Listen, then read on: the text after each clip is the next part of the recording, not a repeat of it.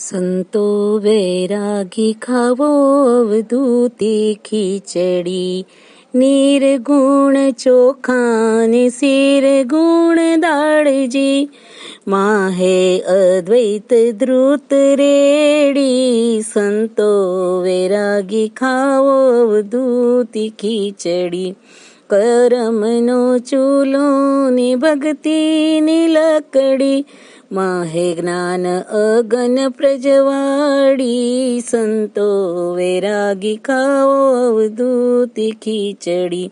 બુદ્ધિનું પાત્ર ને વિરાગની પોતી, માહે પ્રેમ વિશુદ્ધ જડ મેલી, સંતો વૈરાગી ખાવો અવધૂતી ખીચડી. સત્વનું જીરું ને રજસની હળદી, તમસની મકે લાગે મીઠી સંતો, વૈરાગી ખાવો અવધૂતી ખીચડી. શાસ્ત્રોનું દહીં ને દ્વૈતનો પાપડ અનુભવ અથાણે ખૂબ કીધી સંતો. વૈરાગી ખાવો અવધૂતી ખીચડી તૃપ્તિનો ઓડકાર ઉન્મુની નિંદ્રા. અહમ બ્રહ્મ સમરણે વૃત્તિ ઘેરી. વૈરાગી સંત ખાવો અવધૂતી ખીચડી સંતો પધાર્યા ને હરિજન આવ્યા. અવધૂતી મિજલસ રંગ ઉડી સંતો વૈરાગી ખાઓ અવધૂતી ખીચડી. સંતો વૈરાગી ખાઓ અવધૂતી ખીચડી. સંતો વૈરાગી ખાઓ અવધૂતી ખીચડી. હે રાગને છોડીને વિરાગના માર્ગે ચાલનારા, આવનારા સંતો, આપ અવધૂતી ખીચડીને ખાઓ. તો કેવી ખીચડી? જેમાં નિર્ગુણ ને ચોખાના સ્વરૂપે ને સગુણ સાકાર સ્વરૂપને દાળ સ્વરૂપે. અને દ્વૈત પણ ન હોવું, અદ્વૈત હોવું, તે રૂપી ઘી અંદર ભેળવીને ખીચડી બનાવો. અને ખાઓ. કર્મરૂપી ચૂલો બનાવી, ભક્તિરૂપી લાકડીને જલાવી, જ્ઞાનરૂપી અગ્નિને પ્રજવાડી, તેના પર ખીચડીને ચઢવા મૂકો. બુદ્ધિરૂપી પાત્રમાં આ પધરાવીને વૈરાગરૂપી પાત્રને કંટેવાળો કરી અને પાત્રને ચારે બાજુથી પોતી દઈ, પ્રેમરૂપી વિશુદ્ધ જળ ભેળવી, પાત્રને ચૂલા પર મૂકો. સત્વગુણરૂપી જીરું ને રજોગુણરૂપી અડદર ને તમસગુણરૂપી મીઠું ભેળવો તો મીઠી લાગે. ખીચડી. શાસ્ત્રોરૂપી દહીં અને દ્વૈત તત્વરૂપી પાપડ શેકી અનુભવનું અથાણું ભેગું લઈ ખૂબ સુંદર કરી અવધૂતી ખીચડી ખાઓ. તૃપ્તિનો ઉડકાર અને ઉન્મની નિંદ્રા. અહમ બ્રહ્મના સ્વપ્નમાં વૃત્તિને ઘેરી અવધૂતી ખીચડી ખાઓ. સંતો પધાર્યા, હરિજન આવ્યા, અવધૂતી ખીચડીની મિજલસનો રંગ જામ્યો. હવે આપણે સદગુરુએ વર્ણવેલા શબ્દોને ધ્યાનથી સમજવાનો પ્રયત્ન કરીએ. તો ખીચડીમાં ઘણા બધા મસાલા, તત્વો અને અથાણા પાપડને છાશ કે દહીં સાથે આપણે મિજલસ કરતા હોઈએ છીએ. પણ અવધૂતના જીવનમાં ખીચડીની કેવી મિજલસ હોવી જોઈએ? તેનું ઉત્તમ ઉદાહરણ પૂરું પાડ્યું છે. જ્યારે સંસારમાં હોઈએ ત્યારે આપણે મિજલસો માણતા હોઈએ. પણ જ્યારે તેના પ્રત્યે ઉપરતી થાય અને આપણે છોડીને કોઈ વગડામાં જઈએ, ત્યારે એ મિજલસ યાદ આવે અને ત્યારે જે સાચા અર્થમાં સંસારના ક્ષણભંગુર સુખનો અર્થ સમજીને, જ્ઞાનથી વિરક્તિને પામી સંસાર ત્યાગી વિરાગી બન્યો હોય, તેવો સંત એમ વિચારે કે મારે પણ મોટી મિજલસ જ છે. અમે પણ અવધૂતી ખીચડી ખાઈને મિજલસ કરીએ છીએ. તો કેવી ખીચડી હોય તેનું વર્ણન આ પદમાં હૃદયના ભાવોર્મીને વ્યક્ત કરતા સદગુરુ શ્રી રંગાવધૂત કહે છે કે આવો, આપણે વૈરાગી ખીચડી બનાવીએ અને ખાઈએ. તો સર્વપ્રથમ કહે છે કે નિર્ગુણ બ્રહ્મ ચોખા જેવું સ્વચ્છ ઉજળું તત્વ છે. અને સગુણરૂપ બ્રહ્મ દાળની જેમ તેમાં વળીને સુંદરતાને આપનાર છે. એમ બંનેના સમન્વયથી સુંદર ખીચડી બની રહી છે. જેમાં દૈત તત્વને છોડી બંને તત્વમાં એક રૂપતા રૂપી બનેલી ખીચડીમાં ઘી સમાન મીઠાશ લાવનાર છે. પણ ખીચડી બનાવવા માટે કયા કયા પાત્રો અને તત્વોની જરૂર છે? ત્યારે તે બનશે. તો જે પણ કર્મ કરી તેને ચૂલો બનાવી, તેના પર ખીચડી બનાવવા અગ્નિની જરૂર પડશે. તો અગ્નિ માટે લાકડાની જરૂર પડશે તો ભક્તિથી જ કર્મરૂપી ચૂલો પ્રજવાળી શકાશે. અને તો જ થશે. અને જ્યારે ભક્તિરૂપી લાકડા પ્રજ્વલિત થશે ત્યારે જે અગ્નિનું પ્રગટીકરણ થશે તે જ્ઞાન છે. માટે કર્મ કરતાં કરતાં જો ભક્તિનો સાથ લેવામાં આવે, તો તેમાં કર્મમાં જ્ઞાન પ્રગટતા, અજ્ઞાનરૂપી કર્મો નહીં થઈ જાય. અને માટે જ કર્મોના ચૂલાને પ્રગટાવવા માટે ભક્તિની સમિધા લઈ જ્ઞાનયુક્ત કર્મ બનવાથી પાપ કર્મ નહીં થાય. હવે ખીચડી ચઢાવવી છે. વૈરાગ્યરૂપી ખીચડી પ્રાપ્ત કરવા માટે કર્મનો ચૂલો બનાવી અને લાકડા અને જ્ઞાન ભક્તિના લાકડા અને જ્ઞાનના અગ્નિથી શરૂઆત તો કરી, પણ ખીચડી બનાવવા માટે પાત્ર પણ તો જોઈશે ને?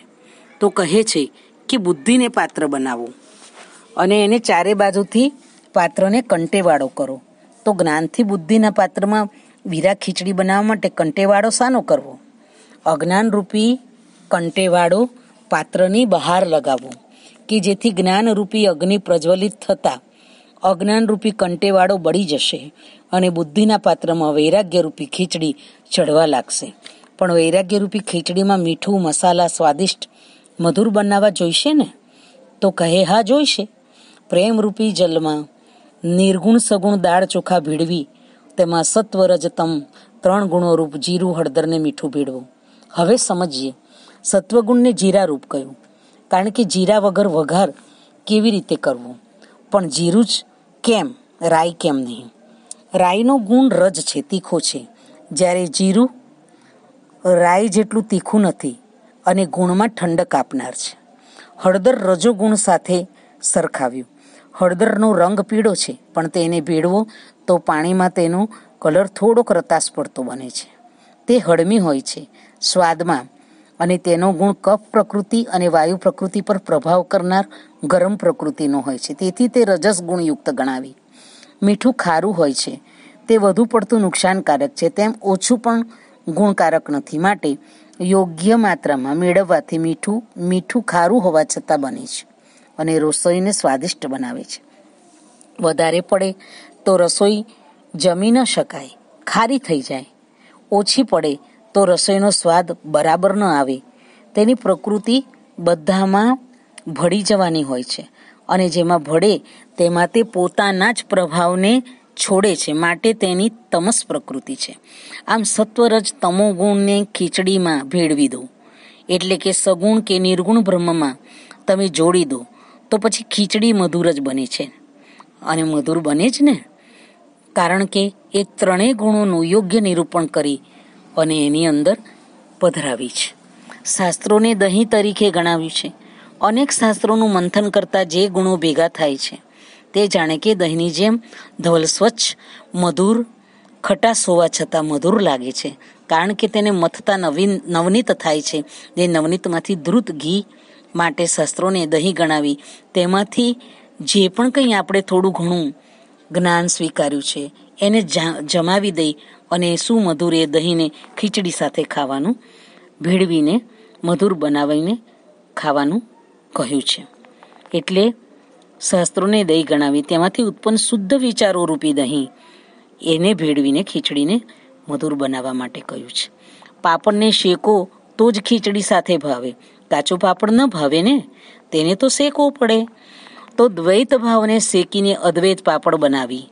મધુર ખીચડી સાથે આરોગ, આરોગો, અનુભવને અથાણું કહ્યું છે. તે ખાટું પણ છે અને ગળ્યું પણ. અનેક મસાલાથી સ્વાદિષ્ટ પણ છે. તો અનુભવોનું પણ આવું જ કાંઈક છે ને?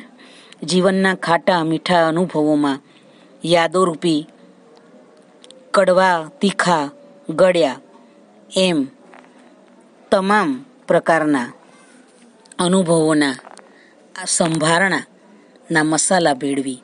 મિષ્ટ બનાવેલું અથાણું પણ નિર્ગુણ અને સગુણ બ્રહ્મમાં જોડી દો કે ખીચડી પછી મધુર બની જાય.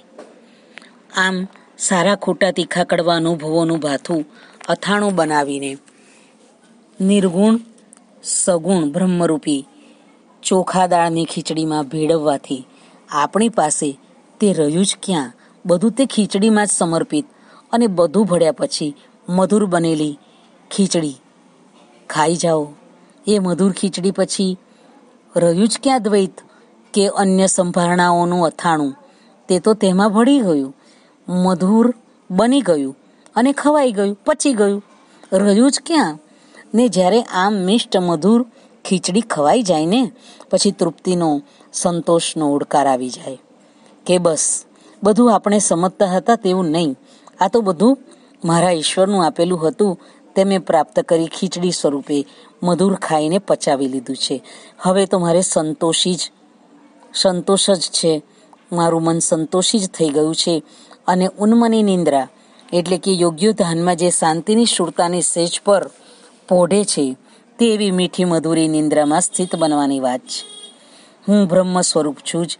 તેવું સ્વપ્ન જોવાનો યત્ન કરી, મનને તેમાં ઘેરી લઈને એ ઉન્મની નિંદ્રામાં સ્થિત થવાનો પ્રયત્ન કરી. શાંતિના અથાક સાગરમાં, શ્રી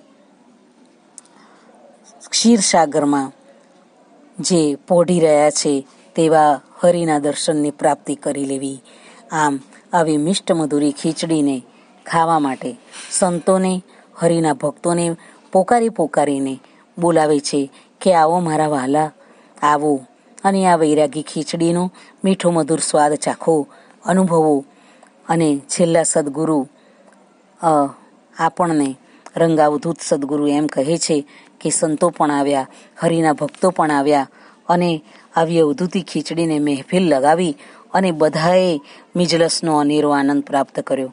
આમ આપણે પણ આ મિજલસમાં જો ભાગીદાર થઈએ, મતલબ કે આપણને પણ આ મિજલસ માણવા માટે પોકારી રહ્યા છે કે આવો. અને આવી મધુર ખીચડીનો રસાસ્વાદ માણો. મિષ્ટ લાગે છે. જે મિષ્ટ લાગતો બ્રહ્મતત્વ સ્વપ્નમાં મીઠી મધુરી અદ્વૈત તત્વની અનુભૂતિ કરાવી અને તમારી મિજલસને મિષ્ટ બનાવશે. માટે આવો. હરિજન હરિના જન ભક્ત એ સંતો આવીને આ ખીચડીના રસાસ્વાદનો આનંદ માણો. ગુરુદેવ દત્ત. હવે આપણે આને બીજો ભાગ બીજા અર્થમાં સમજવાનો પ્રયત્ન કરીશું, જે ખૂબ સરળ હશે, જે આપણને ભાવનાથી જે સમજાવવા માંગી રહ્યા છે સદગુરુ, એને હવે આગળ બીજા ભાગમાં સમજીશું. ગુરુદેવ દત્ત ગુરુદેવ દત્ત ગુરુદેવ દત્ત